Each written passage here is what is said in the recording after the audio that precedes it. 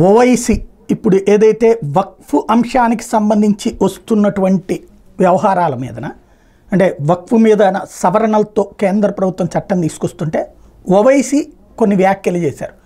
ఇందులో విశేషం ఏంటంటే అది కావాలని వక్ఫాస్తులు లాక్కోవడానికి చేస్తున్న కుట్ర అని చెబుతూ అందులో ఉన్నటువంటి తప్పులు అందులో ఉన్న అక్రమాలు ఆయనే బయటపెట్టేశారు. అది ఇక్కడ అసలు పాయింట్.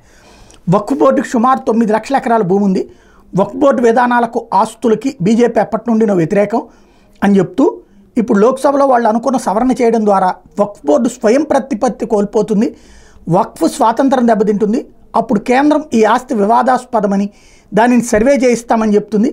ఆ సర్వే ఫలితం ఎలా ఉంటుందో తెలిసిందే. మన భారతదేశంలో వక్ఫ్ బోర్డుకి చెందిన చాలా దర్గాలు ఉన్నాయి అవి దర్గాలు మసీదులు కాదని బీజేపీ ఆర్ఎస్ఎస్ ఎప్పటి నుంచినో చెప్తున్నాయి.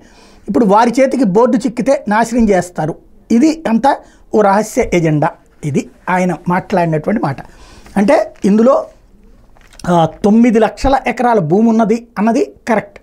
అదే సందర్భంలో అందులో చాలా దర్గాలు ఉన్నాయి దర్గాలు మసీదులు కాదని చెప్పి వాదిస్తోంది అన్నటువంటి పాయింట్ చెప్పుకొస్తూ స్వతంత్రత దెబ్బతింటుంది కేంద్రం ఈ ఆస్తి వివాదాస్పదమని దాని మీద సర్వే చేయిస్తే సర్వే చేయిస్తే ఏమవుతుంది?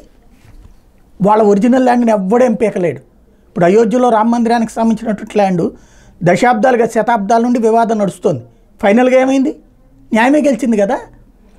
ముస్లింల స్థలాన్ని కూడా ఎవడు తీసుకోవడానికి వీల్లేదు. అదే సందర్భంలో ఏ దేవాదాయ శాఖ ల్యాండో తీసేసుకుని అది వక్ఫ్ స్థలం అని చెప్పుంటే అప్పుడు ఆగుతుంది.